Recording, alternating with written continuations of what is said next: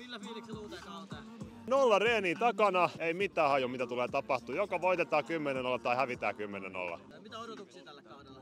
Paljon peliminuutteja, tavoitteena pysy kasassa, mutta tunnetaan siitä, että nämä Flamingon ilkat menee ympäri, niin ää jännittää, mutta vedetään hyvät lämmöt alle, niin tuskin menee rikki. Mitä sarjaa katsot tällä hetkellä? Öö, office. Vetätkö sängyn aamuisin? En todellakaan. Mikä on sun karaoke Öö, kyllä tota, Sommare Sommaredekort.